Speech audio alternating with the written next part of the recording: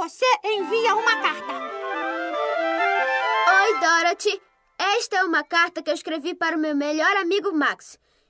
E é assim que eu envio. Eu abro a tampa e coloco dentro da caixa de correio. E é assim que eu envio uma carta, Dorothy.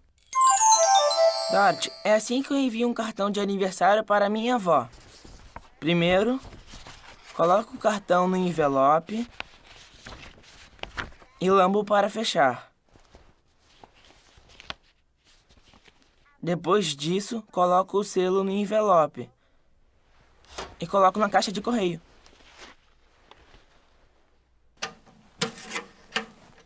Viu? Virei a bandeira para cima para o carteiro saber que tem uma carta dentro. É isso, Dorothy.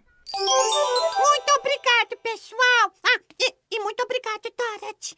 Agora Elmo vai perguntar a um bebê. Lararará, lararará. Ah, olá, bebê bebê como você envia uma carta. Hum? Obrigado, bebê. O radar tem muita